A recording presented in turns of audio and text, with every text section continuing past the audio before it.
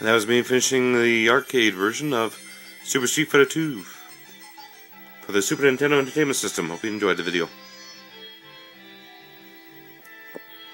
I guess I gotta push a button or something.